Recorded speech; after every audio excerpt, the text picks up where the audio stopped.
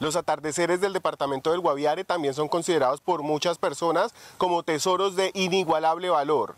En San José del Guaviare hay quienes consideran que las puestas de sol son el mejor momento del día y por eso no desaprovechan cada oportunidad que tienen para disfrutarla. La opacarofilia es la fascinación o el amor por los atardeceres y quienes la tienen siempre quieren encontrar el mejor sitio para disfrutar de su momento preferido del día.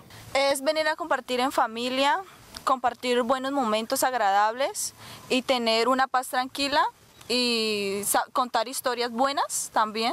Es una condición que no todos entienden, pero que a los amantes del ocaso los hace sentir vivos, no importa dónde estén, siempre esperan sentarse a disfrutar de la puesta del sol.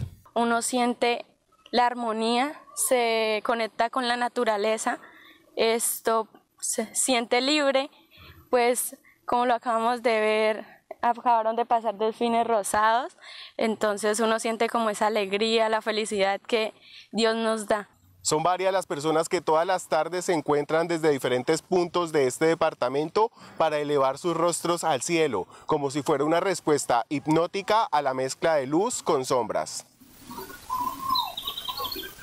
Hoy en día los atardeceres del Guaviare ya lo puedes disfrutar con paz, puedes llegar con tranquilidad, puedes eh, compartir con tu familia un buen rato, disfrutar del paraíso, de, las cosas que Dios nos da y que hay veces nosotros no sabemos eh, contemplar con su belleza. Más allá de un simple momento, para los coleccionistas de atardeceres, como se hacen llamar, el ocaso guaviarense es un regalo que se disfruta con cada uno de sus sentidos y lo viven como si fuera el último.